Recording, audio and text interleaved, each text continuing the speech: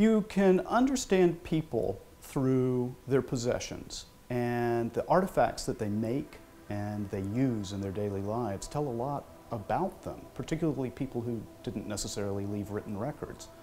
And a house or another building as an artifact, it's so complex that you can read all kinds of things about the people who built it, how they built it, how they used it. It, it basically tells the story of their lives. Isaiah Davenport was a master builder from New England. Well, a master builder is a person who can do some design as well as engineer the construction for the project. He's between the builder on the one hand and the architect on the other. He's right in the middle. He was born in Rhode Island and he apprenticed, we believe, in New Bedford, Massachusetts and learned the carpentry trades up in that area. A master builder typically would have gone through an apprenticeship system. Starting about the age of 14, a kid would be apprenticed to a master craftsman by his parents and would go through a period of training. Some of these relationships were quite formal, some of them could be as casual as working with Uncle Bill, who's the builder down the street. But probably because of the level of construction and the quality of craftsmanship that Davenport demonstrates, he's probably a person who went through the more formal system of apprenticeship. And then to make his way in this world, to make his fortune, he hopped on a boat and ended up in the port city of Savannah around 1809. You can see from his background that he's coming from a very, very conservative, traditional foundation. And that would have played very well here in Savannah because his clientele was of a like mind. And between 1809 and 1827, he was a master builder in the port city of Savannah. It speaks to a period of time in Savannah history between river transportation of crops uh, out into the world and then the rail, which is not yet beginning. And so it's the end of a colonial period, you might say, uh, and it's the beginning of a national period.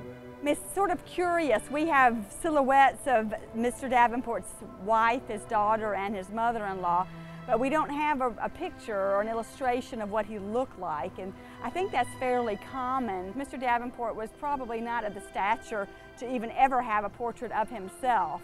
Um, so what we have to go by is, is the buildings that he built.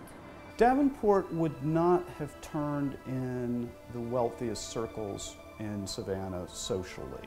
He was a craftsman.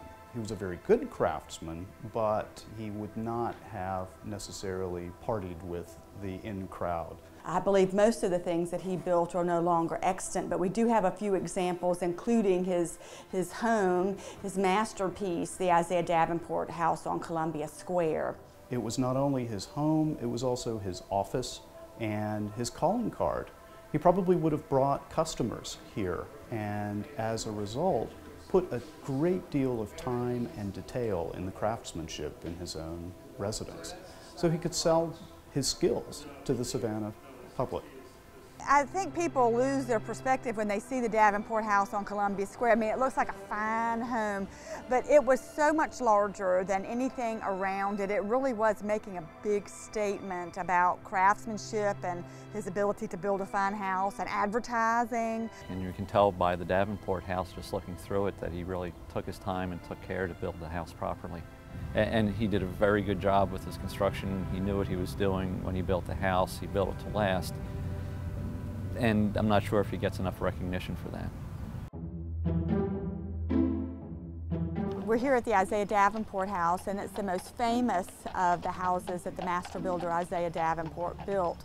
Um, but a local historian said that every square in Savannah had a house built by Isaiah Davenport. He was a prolific builder. And so we're going to go see a few of the houses that are remaining that he built. Um, most of those have long since gone the way of quote unquote progress. We're at, at Laura's Cottage, which is purported to have been built by the master builder Isaiah Davenport. It sort of is a sharp contrast to the fine brick home that Mr. Davenport built as his calling card uh, for his household. This is um, a very modest cottage. Um, we sort of venture to think that this is how most people would have lived in Savannah in the 1820s. It's not a very large house. Now this house is not on its original foundation. It was moved to this property in the 20th century. Its original location is a little bit further east down State Street, so we're going to step down to where it used to be.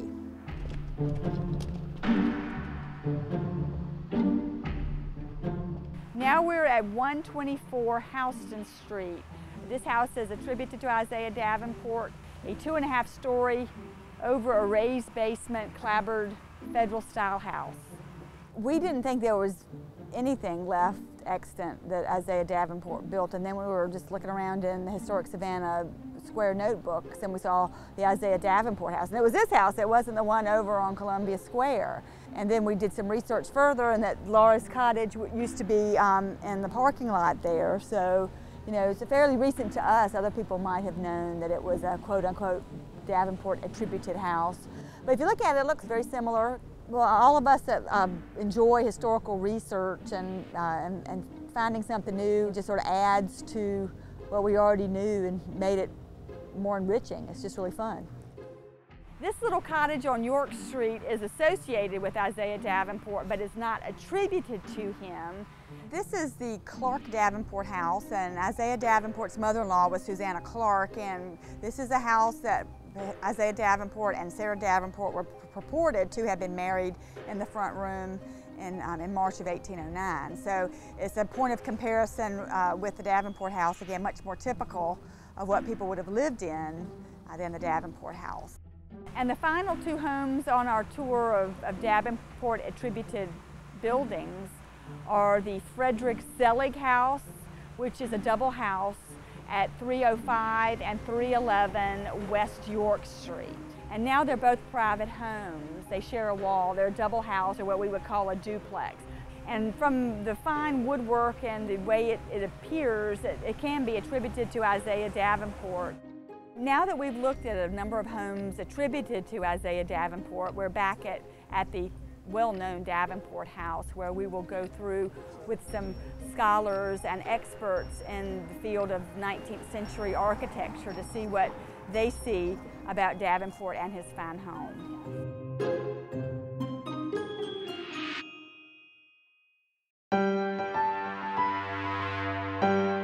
I'm Tom Hoffman. I'm a structural engineer here in Savannah, Georgia. I'm also a professor of architecture at Savannah College of Art and Design. I'm Christopher Hendricks, professor of history at Armstrong Atlantic State University, and one of my specialties is architectural history and vernacular architecture. My name is Daves Rossell, and I'm an architectural historian. I teach architectural history at the Savannah College of Art and Design. Whenever I teach architectural history or vernacular architecture, I always like to bring students here because you can use this building as a wonderful example because it's in a preserved state. When I look at this building, I think of a, a grand architectural statement uh, that really speaks um, to the potential of Savannah society to express itself. I see, uh, I see the north coming down to the south, I see uh, America coming up to England. I see uh, a, a, humble builder really uh, aspiring to be an architect.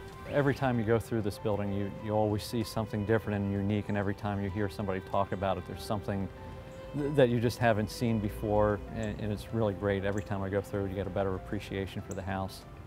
I think this house is a fabulous uh, building for its time, and its time was very interesting, 1820. Its particular style is federal, but federal was late classical and just before the beginning of the Greek revival. I also see in the Isaiah Davenport house a little bit of a beginning of the picturesque movement, uh, the movement that came with the Greek revival and after it, when designs became more eclectic and more diverse. Well, the Davenport house fits somewhere in between the middle class residence and the real high style residents such as William Jay would have done. It's probably the finest example of federal architecture here in the city, so it's unique in that respect. But it's a more common everyday house. It's using a typical floor plan that became popular in the 18th century. The presence of the building is very prominent. It's, uh, it's two and a half stories tall, it's on a raised basement, And it speaks to a kind of formality of style and elegance, which uh, would be really national in character, even international, with ideas coming from England and Europe. Well, one of the things that always strikes me about the Davenport House is the, the use of the English basement. You know, having the raised basement, it's practical in one respect in that you're going to get light into the workspace of the house. It also gives you a sense of privacy by raising the living space up off of the street level but more than that, it gives the advantage. It adds an extra story of height, which helps your statement of grandeur. Definitely. Well, the oval staircase arrangement makes for a nice visual statement too, doesn't it, Daves? It does. It reaches out and it embraces the city. And you get the oval as a part of the motif from the federal period. Right. Correct. And then this becomes a nice uh, formal uh, sort of place to embrace the world. I think it's a neat stage set, really, uh, looking out over the square and, and uh, the city. And uh, one of the, the finest pieces of detail in this building is this, uh, this really elaborate ornamental ironwork. Uh, which is just delicate and light and marvelously kind of rich as a statement. And in that quickly uh, takes us to these side lights uh, and to the overlight, which uh, are, of course, very strong components of the federal style. And once again, you see that oval motif, which we're going to see throughout the entire house. One detail that makes the Davenport House uh, very special in Savannah is its um, unique, small-sized and pressed red bricks. This is a brick that's been imported and it has a delicacy about it which also fits with the federal style. Structurally it's a very good brick, it holds up well to the weather as we can see out here and uh, very good mortar job. They, they have the bricks nicely laid in, nice even mortar line, keeps everything from in line and not overloaded. And this is a characteristic English common bond uh, with uh, one row of headers and then uh, one, two, three, four, five rows of stretchers, then another row of headers. This is a characteristic uh, bond that the English would have brought over and the Americans used it for many generations and then gradually started stretching it out and then uh, ultimately doing away with it to the uh, American bond, which is just all stretchers. But it was imported brick, it was a delicate scale, it was meant to look uh, imported, special, unusual. And then the interior features also, I think, really call out his uh, skills and abilities in using different design motifs. Um, and the house, in some ways, is a lot like a modern uh, model home. Let's go inside and have a look. Great. Oh, this is wonderful.